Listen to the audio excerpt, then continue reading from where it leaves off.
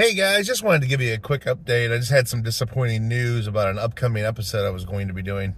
Well, I've been planning on doing it. I probably should have checked with them first. But I was going to, uh, two weeks from now, be going into Canada, into British Columbia, to Scandia Golf & Games uh, to see the only Rock-afire in Canada.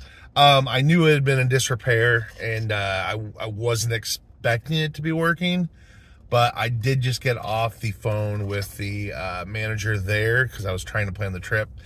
And it turns out they went ahead and removed it and sold the Rock-afire. Um, which I'm sure some of you guys probably already knew that. I had no idea uh, that was for sale or I hadn't seen anyone post anything about it. Um, so I'm just really bummed. Um, yeah, it's such a bummer. I was really excited to go see that last Rock-afire up there.